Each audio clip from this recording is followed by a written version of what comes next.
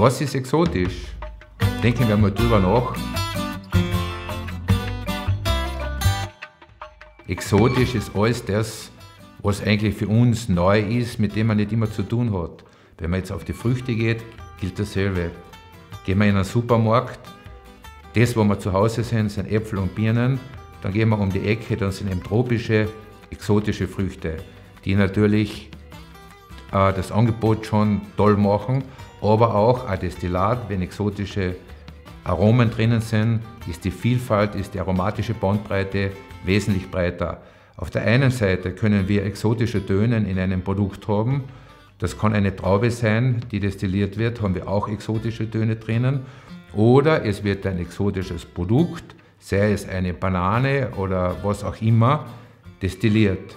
Nur, wie destilliert man eine unter Anführungszeichen exotische Banane? Man hat zwei Möglichkeiten. Entweder man macht einen Geist, man vergeistet die Banane, das heißt, sie wird in reinen Alkohol destilliert und äh, mazeriert und dann auch destilliert, oder sie wird vergoren und danach eben destilliert, dann ist es ein 100% Destillat.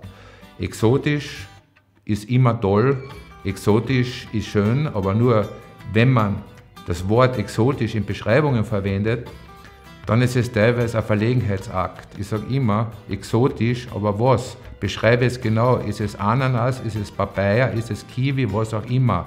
Exotisch hat eine riesen Vielfalt. Und diese Vielfalt sollte auch verbal in der verbalen Beschreibung von Destillaten angewendet werden. Als armes Göl servierte ich Ihnen heute kleine Happen sensorisches Wissen kompakt. Haben Sie Lust auf das gesamte Menü? Ja, dann gehen Sie bitte auf unsere Webseite IWS-TV oder auf YouTube. Liken Sie bitte die Beiträge, abonnieren Sie bitte den Kanal. Bis zur nächsten Folge von Inside World Spirits.